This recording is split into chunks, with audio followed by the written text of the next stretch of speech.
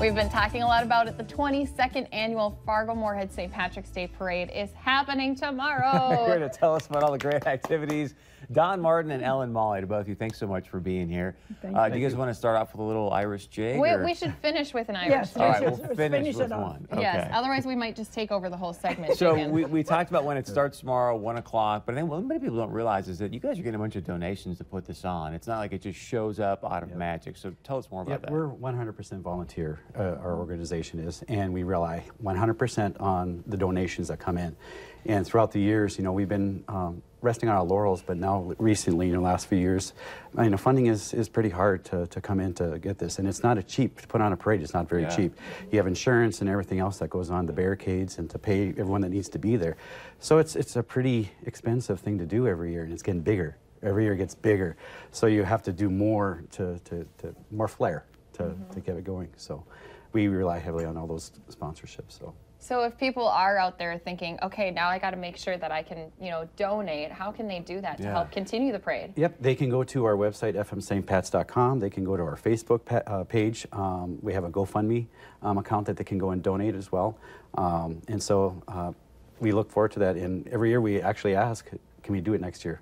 Because we have to look at what, how much money we have left, and we usually don't have that much left. So it's almost a year-to-year basis to see if we can actually hold it. So. So what are some of the special things that are going to be happening tomorrow? Whoa. it's going to be a beautiful day, as we know, Lisa Yeah. told us. And then um, we're going to be having um, more than 70 groups down there and two dance groups, uh, the Haneys and Marie McDonald's group. And we're going to have the Derby Girls. And, Yes.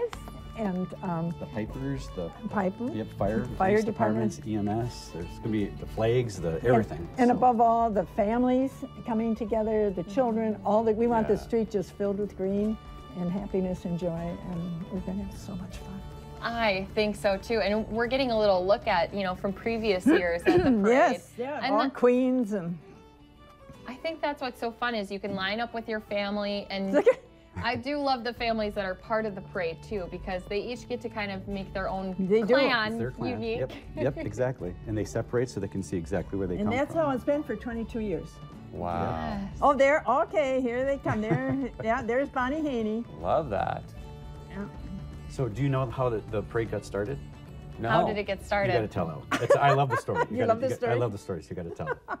Okay, we moved here from Minneapolis, and uh, our son Dan wanted um, to have a um, wanted to go to St. Paul for the parades where he had, where always had gone before, and then we, we couldn't do that, and so we had a little parade in our neighborhood around the block, and the children came for Tree Star House, and we still have the banner, the original banner, and then. As he was growing up, the parade started getting bigger, and then we ended up on Broadway. And then I with, with, love with the support of Brian Quigley and Maggie Ringet. Yes. I just think it's so fun. And and like we said too, I mean, there's music, there's dancing, and there's just a lot of smiles when you're out at the parade. And Candy. And candy. Lots of candy. Maybe a couple people in the audience doing some jigging. Could There's be. a lot of that, yes. Yeah, yeah. A lot of happiness. So for people who are wondering, Chris asked this question. 1 p.m. is what time the parade starts. Mm-hmm. What time do you need to start lining up? The lineup starts at 10 o'clock. Um, Wow. OB parking lot because a lot of people like to go. It's a first come first serve in the lineup, so people like to come early to get the best spot in the lineup. So we start allowing people to come in at 10 o'clock, and they start to they play music in the parking lot, so everyone's getting in the groove and getting into the, the spirit of the of the parade. So it's an awesome event. It's just starting fun. at 10. So Going around welcoming everybody, and um, Yep. the energy is good. And then to really get the energy off is right at, at 1 o'clock Yes. is the Lake Agassiz Pacers start their 5 and 10K in children's run. Every year Mm. they start off right in front of us. The runners go down right in front. That's the signal the parade started. When you see the runners coming, it's time for the parade. Yeah, I pull out my whistle, and away we go. One o'clock on the dot. So So it- the pipers behind us. It doesn't start until you blow the whistle, right? That's how, how it's been. Yeah. that is so cool. I know. So where is the best spot in the parade then, to, in your opinion, for those people who are part of the parade? Mm, you know, there's there, I'd say there's some amateurs in there that they throw the can too much candy too quick. So a lot of people like to go at the very few first few blocks so they can get the most candy. But we tried to tell people if you're throwing candy, sparingly do it throughout, so you have candy throughout the route. So. And you're taking a look at the route right now on your Oh. screen. Yes. So it goes up Broadway, starting over on NP Avenue. Yes. And then goes all the way up and turns on Fourth, and that's where the That's parade a little ends. different Yep. than Yeah. we've done So, before on yep. Fourth. In the past years, we've uh, gone all the way up to Sixth Avenue North, and uh, this year we've changed it because the Lake Agassiz pa- uh, Pacers run basically the same route. Okay. So we wanted to keep the routes the same and uh, limit the amount of road closures that we had to do. So we just basically are marching up the same path as the racers. So. Yeah, and maybe you do want to end up at the end because I know when we've walked in parades, I sometimes try Yeah, to go exactly. too sparingly, and then at the end I just hand over bags of candy. Who wants to take candy home?